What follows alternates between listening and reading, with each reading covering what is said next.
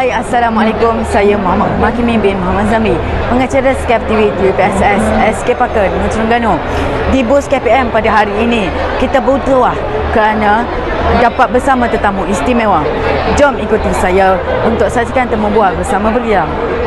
Baiklah bersama-sama saya Dato' Haji Fakruddin bin Haji Ghazali Timbalan Ketua Pengarah Pendidikan Malaysia Sektor Dasar dan Kurikulum Assalamualaikum Tuan Waalaikumsalam warahmatullahi wabarakatuh. Boleh Tuan kongsikan apa yang dibawa oleh KPM di dalam jelajah aspirasi keluarga Malaysia di Terengganu ini?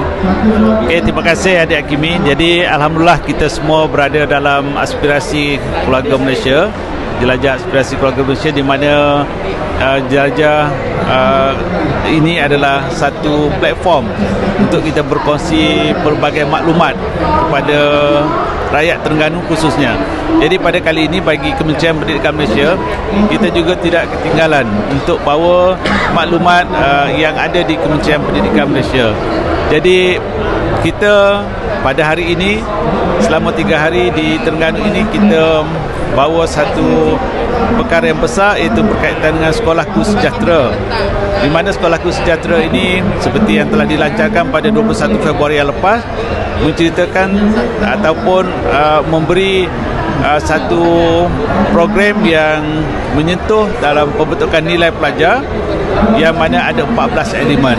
Jadi hari ini pengunjung yang datang ke bus KPM bolehlah mengetahui apa itu sekolahku sejahtera dan mungkin kita boleh berkongsi apa perkara yang boleh kita perkasakan tentang sekolahku sejahtera. Yang keduanya kita juga bawa perkhidmatan seperti uh, peperiksaan. Uh, boleh mengetahui bagaimana kita nak mohon salinan sijil. Uh, kemudian untuk buat pendaftaran peperiksaan syarat-syarat peperiksaan. Kita juga ada uh, bawakan uh, maklumat untuk uh, kemasukan ke IPG yang mana untuk pelajar-pelajar lepasan uh, SPM nanti boleh memohon untuk memasuki IPG dan pada masa sama ada juga aktiviti yang berkaitan dengan robotik ataupun perkara yang uh, berkaitan dengan kaedah pembelajaran terkini menggunakan teknologi. Jadi boleh uh, diterangkan oleh pegawai yang terlibat. Uh, jadi sebenarnya banyak perkara yang tidak kita uh, bawa ke sini.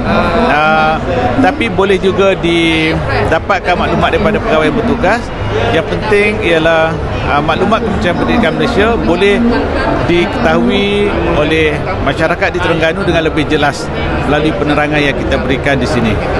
Jadi itulah yang kita harapkan dalam jelajah aspirasi keluarga Malaysia yang khusus di melibatkan Kementerian Pendidikan Malaysia.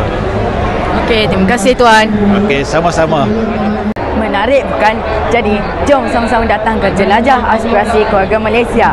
Jangan ketinggalan. Sekep TV saluran informasi anda. Jumpa lagi. Assalamualaikum.